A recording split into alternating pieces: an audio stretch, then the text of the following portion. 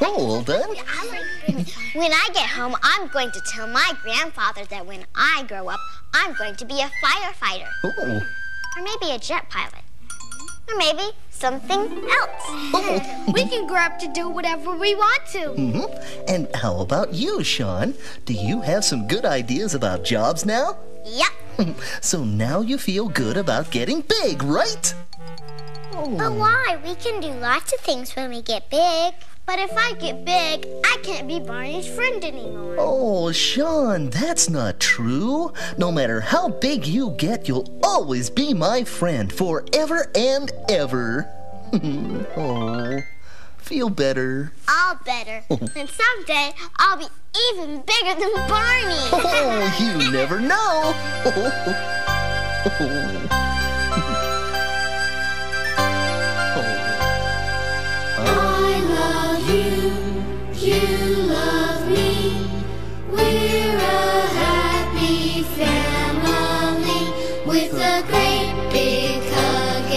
kiss from me to you.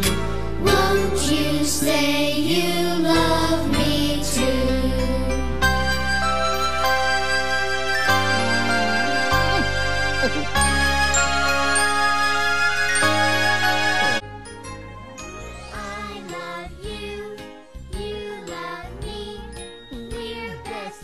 friends like friends should be. With a great big hug and a kiss from me to you. Won't you say you love me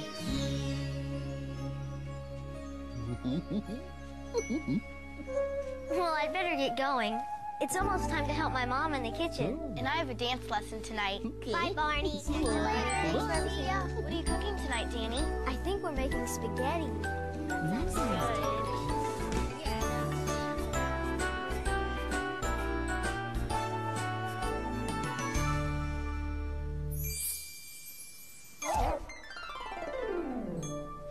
Everybody, it's time for Barney Says.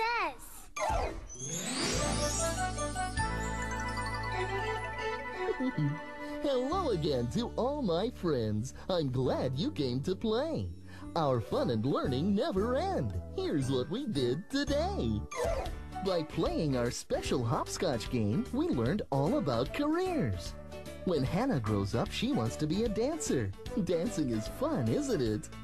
Danny wants to be a chef, so he made us some wonderful alphabet soup. Mm-mm. Emily was our bus driver for the day. And Jeff wanted to be a sailor, so he took us